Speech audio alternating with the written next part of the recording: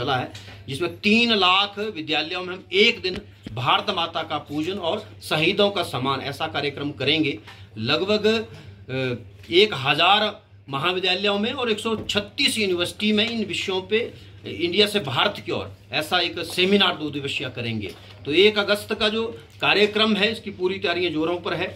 हमने लगभग ग्यारह हज़ार अठारह हज़ार स्कूल है निजी को मिला के ग्यारह हज़ार विद्यालयों में भारत माता के चित्र अखिल भारतीय राष्ट्रीय शैक्षिक महासंघ की तरफ़ से लगभग पहुँच गए हैं और अधिकांश कार्यकर्ताओं के वक्तों किन विषयों पर चर्चा करनी है।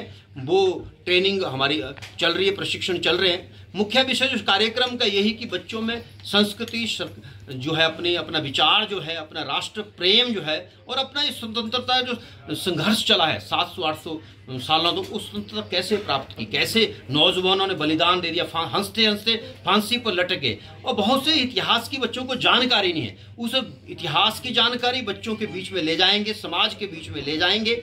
उस दिन हम एक रैली का भी आयोजन करें, भारत माता की जय हो। आजकल आपको बहुत से ऐसे लोग जिनको बंदे मातरम बोलने से परहेज है। भारत माता की जय बोलने से परहेज है। तो एक भारत माता की जय हो। वंदे मातरम और राष्ट्र भक्ति के गीत गाते हुए स्कूल तक एक रैली निकालेंगे और स्कूल के अंदर फिर भारत माता का पूजन होगा और उसके साथ साथ कोई आसपास के क्षेत्र में उन्नीस का, पहले का या बाद का जो भी शहीद परिवार बचा हो, उसका जो है वहाँ पर सम्मान किया जाएगा और कैसे उनके बच्चे ने, उनके पिता ने देश के लिए हस्ते से बलिदान दे दिए, क्या भाव रहा होगा राष्ट्र के प्रति, उसको भी वहाँ पर उसके विचार रखे जाएँगे। तो कहने का तो कि समाज में राष्ट्र के प्रति जो समर्पण है राष्ट्र के प्रति जो भाव है, राष्ट्रीयता का जो भाव है, अपनी जो संस्कृति है, अपना जो विचार है, उसको कैसे और पुष्ट किया जाए, उसके लिए ये कार्यक्रम का आयोजन जो है पूरे भारतवर्ष में और यहाँ दस हज़ार स्कूलों में हिमाचल में करने वाले हैं।